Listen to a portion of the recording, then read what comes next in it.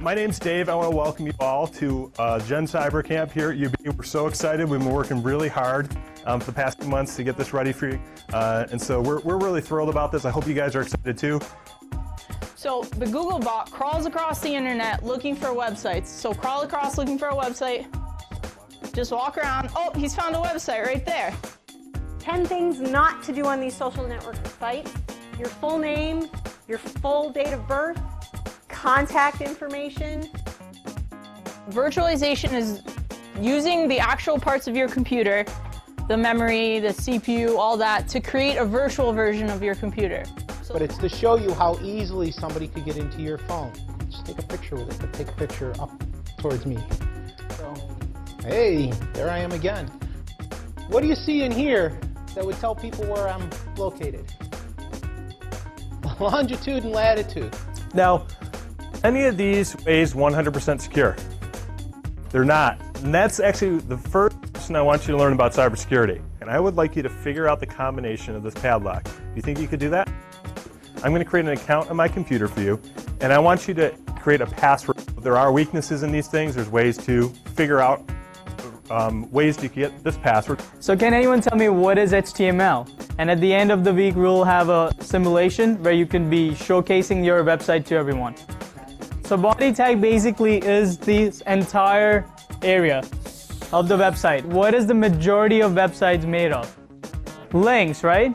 So let's go ahead and put a link on our webpage. How about a GUI? Anybody know what a graphical user interface is? The number one represents execute. The number two represents write. Like, how important is it that a bank makes sure that the amount of money that their system says you have is correct? The impact of Snowden will not be realized for years to come. We need folks like you that are learning how to protect your computers. You just put center in front of the iframe. You put center in a tag. I just learned how to do that. Oh, I just learned it out. Doing it right now. You got it? Who got it? Now, what we're going to be talking about today is how two computers communicate. So the next logical question becomes, well, what's the internet? So we're going to build a network today. Okay, all these little Raspberry Pi devices, we're going to build a small version of the internet right here in this lab. Look at that. Guys, we are now talking on the internet. We are going to be, a, this entire room is going to be the internet. We are going to approximate the way the internet functions in this room. Watch what's happening right now. It's 0.1. Look at what's happening. What happened here?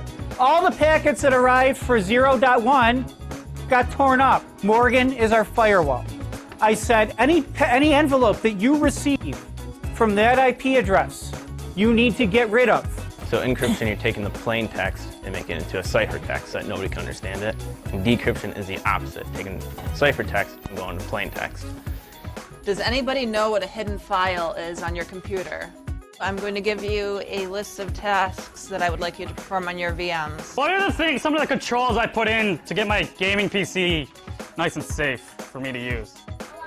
Firewall. So I'm gonna block IP.127.